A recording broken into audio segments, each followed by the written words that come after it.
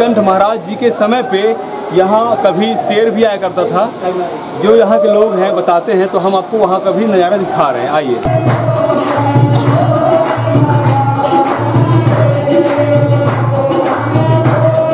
देखिए, कैसे पानी इन पत्थरों के नीचे से निकल रहा है और वहाँ पर कुछ लोग एंजॉय कर रहे हैं।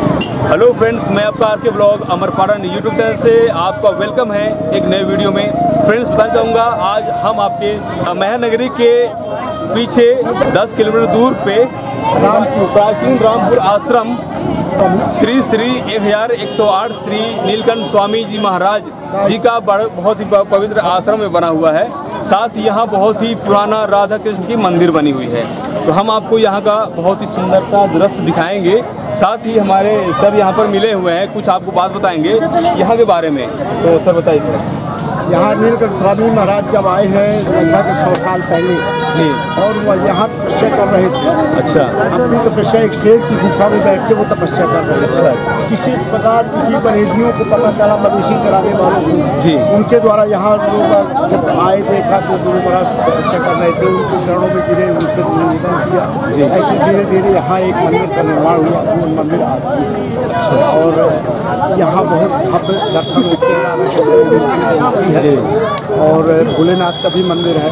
श्री कृष्ण जन्माष्टमी का कार्यक्रम के रूप में आज यहाँ बहुत बड़ा कार्यक्रम मनाया जाता है। साथ देख सकते हैं, बहुत बड़ी यहाँ दुकानें लगी हुई हैं, मेला जैसा लगा हुआ है। तो हम आपको अंदर का दृश्य दिखाएँगे। प्लीज़ आप हमारे चैनल में बने रहें और सब्सक्राइब करें। आर के ब्लॉग पड़े यूट्यूब चैनल को फ्रेंड्स देख सकते हैं कितनी सारी गाड़ियाँ यहाँ पे हैं और इतनी गाड़ियाँ हैं और इनका एक स्टॉप बनाया गया है। जहाँ पर ये देखिए गाड़ियों का हजूम यहाँ बना हुआ है। बड़ी बड़ी गाड़ियाँ भी यहाँ दिखेंगी आपको। और साथ ही यहाँ पर दुकानें भी लगी हुई हैं, जिसमें फल का है और प्रसाद जैसे कुछ ऐसे। ये देखिए, आप बोर्ड में लिखा हुआ है, प्राचीन रामपुर आश्रम, जो आपके मैहर से 10 किलोमीटर दूर पे ये मिलेगा आपको और यहाँ देख सकते हैं, फल के भी यहाँ पर दुकानें लगी हुई हैं, और यहाँ बहुत सारे श्रद्धालु आते हैं, और आज श्री कृष्ण जन्माष्टमी का त्यौहार है, उस कारण से आज बहुत ही बड़ा यहाँ कार्यक्रम हो रहा है तो फ्रेंड देख सकते हैं, आज के कार्यक्रम पे, जो जन्माष्टमी का कार्यक्रम है, इस कार्यक्रम पे बहुत ही ज़्यादा भीड़ यहाँ है और हर तरह की दुकान आपको यहाँ दिखेंगी।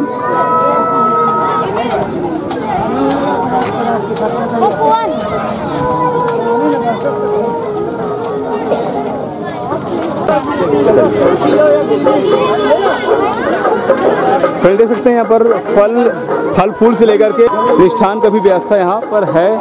ये पहला गेट है फ्रेंड्स आप भी इस गेट को क्रॉस करेंगे और अंदर का नज़ारा दिखाएँगे जो बहुत ही सुंदरता के द्वारा भरा हुआ है। ये देखिए, यहाँ पे आपको शिवलिंग आपको, ये दिखेंगी आपको, बहुत सारी मूर्तियाँ हैं, फूल हैं, प्रसाद है, और ये बहुत बड़ा क्षेत्र है फ्रेंड्स बताना चाहूँगा आपको। और यहाँ का कृष्ण राधा का जो मंदिर है, बहुत ही पुरानी मंदिर बनी हुई है।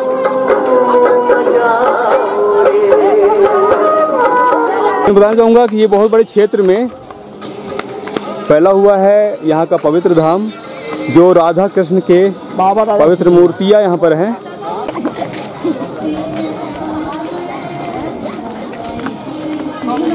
तो फ्रेंड्स जैसे कि हम आपको आज राधा कृष्ण जी का पवित्र मंदिर को घुमाने के लिए आए हैं जो आज जन्माष्टमी का त्यौहार पे बहुत ज़्यादा भीड़ यहाँ पे है। साथ देख सकते हैं बहुत ही विशाल का ये पीपल का पेड़ भी यहाँ पर मिलेगा और ये दूसरा गेट है और इस दूसरे गेट के हम अंदर चलेंगे और वहाँ का नज़ारा आपको दिखाएँगे। आइए।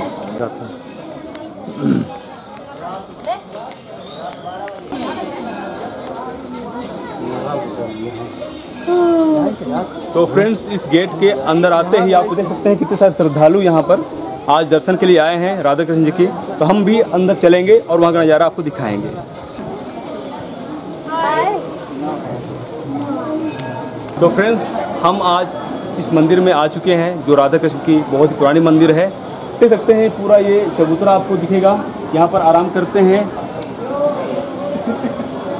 तो देख सकते हैं नीलकंठ महाराज जो तपस्या करके आगे बढ़ते यहाँ का पवित्रता बढ़ाए हैं और श्री राधा कृष्ण की मंदिर भी यहाँ पर है हम आपको दिखाएँगे। अंदर आइए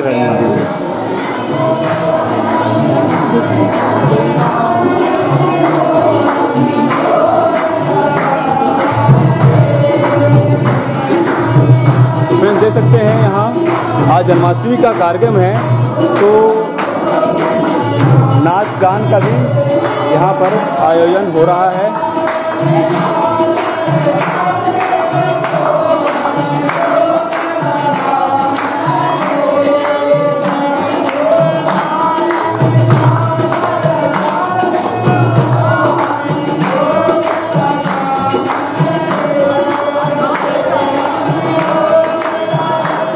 चलते हैं पास में आपको लेकर के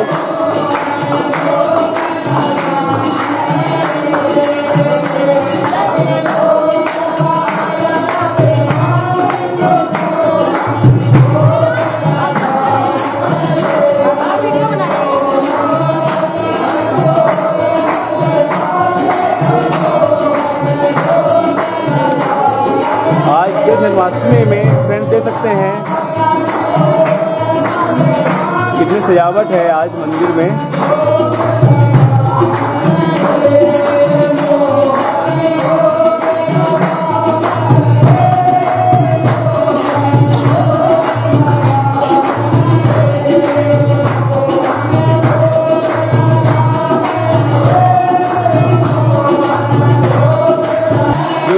झूम करके आज खुशी मना रहे हैं, क्योंकि आज कृष्ण का जन्म दिन है। आज के दिन ही 12 बजे रात को कृष्ण के जन्म हुआ था और आज श्रद्धालु उन्हीं के जन्म दिवस पे, आज खुशी पे नाच झूम करके आज का कार्यक्रम को बना रहे हैं। तो फ्रेंड्स बताना चाहूँगा, ये मूर्त जो दिख रही है स्वामी नीलकंठ महाराज जी का है। देख सकते हैं, कितनी सुंदर मूर्त बनी हुई है।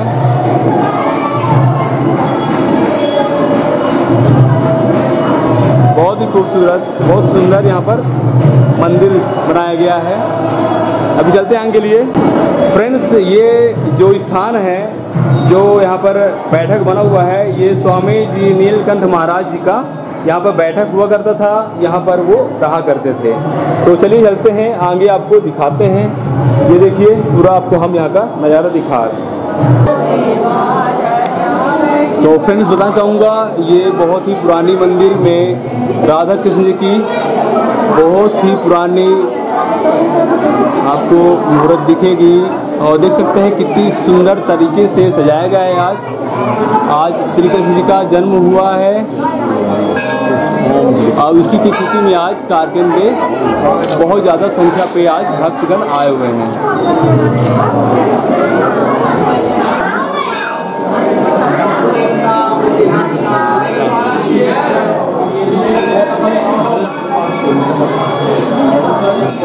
तो फ्रेंड्स यही मंदिर से होते हुए हम अंदर ही अभी ये ऊपर चलेंगे और ऊपर देखते हैं यहाँ दिखते हैं आपको? देख सकते हैं। ये एक आपको। माँ शारदा जी का यहाँ पर तस्वीर आपको रखी दिखी हुई है। चलिए ठीक है, चलते हैं आगे लिए। देखिए फ्रेंड्स नज़ारा कुछ खा रहे हैं। बहुत ज़्यादा श्रद्धालु यहाँ पे हैं। जय श्री गणेश। गणेश भगवान जी यहाँ पर हैं।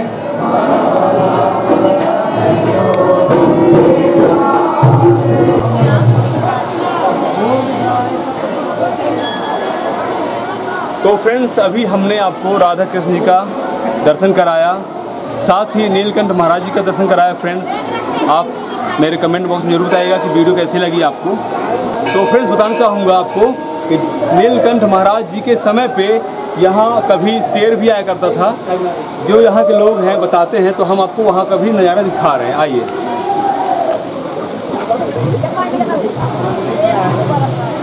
तो बताना चाहूँगा, ये गुफा है, ऐसा यहाँ के लोग बताते हैं, और यहाँ ही शेर आया करता था। चलिए, मैं आपको अंदर का नज़ारा दिखाऊँगा आपको, थोड़ा सा। देख सकते हैं फ्रेंड्स अभी चलेंगे गुफा के अंदर। वाकई में फ्रेंड्स बताना चाहूँगा, यहाँ पर गुफा जैसा ही है और अंधेरा आपको दिख रहा होगा, लेकिन काफ़ी सकरा जगह है जो कि जानवरों के लिए बैठने के लिए काफ़ी है।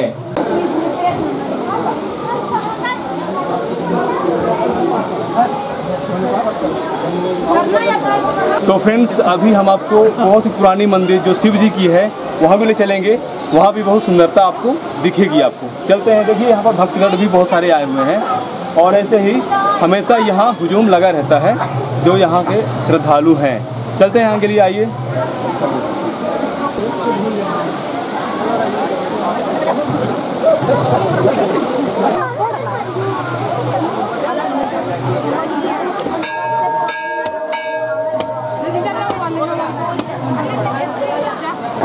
तो फ्रेंड बताना चाहूँगा, ये शिव जी की बहुत पुरानी मंदिर, जो यहाँ पे आपको दिख रही है। शिवलिंग है और नागराज भी बैठे हुए हैं, आप देख सकते हैं, ये देखिए।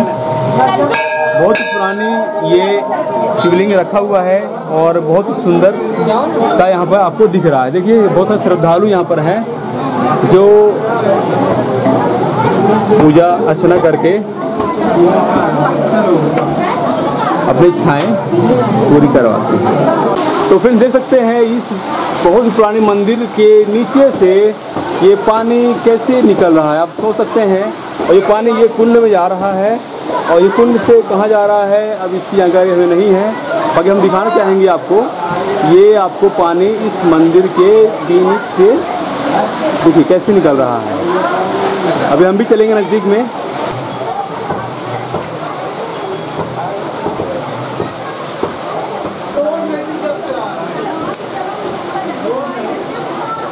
तो फ्रेंड्स देख सकते हैं, बहुत ही अनोखे अनोखे चीज़ यहाँ पर आपको दिखेंगे। एक ये कुंड दिख रहा है फ्रेंड्स जो पानी पता नहीं कहाँ से निकल रहा है। और एक आपको ये दिखाऊँगा फ्रेंड्स आप तो फ्रेंड्स देख सकते हैं, ये कुंड दिख रहा है आपको, और ये कुंड की गहराई के बारे में हम ना बता पाएँगे। बाकी ये पुराने टाइम का ये कुंड बना हुआ है, देख सकते हैं। और बरसात के टाइम पे बहुत ही सुंदरता यहाँ पर आपको नज़र आता है। देखिए कैसे पानी इन पत्थरों के नीचे से निकल रहा है और वहाँ पर कुछ लोग एंजॉय कर रहे हैं। तो फ्रेंड्स जैसे कि हमने आपको आज शारदा मंदिर के पीछे रामपुर पाठा नामक पहाड़ के अंदर जो है, ये नीलकंठ महाराज जी का बहुत ही आश्रम है, पुराना आश्रम है और कृष्ण और राधा जी का बहुत पुराना मंदिर हम आपको दिखाए हैं। तो फिर कमेंट बॉक्स में ज़रूर बताइएगा कि हमारा वीडियो कैसा लगा। साथ ही हमारे चैनल को सब्सक्राइब करेगा तो प्लीज़ मिलते हैं अगली वीडियो में। जब तक के लिए अपना ख्याल रखिएगा ओके बाय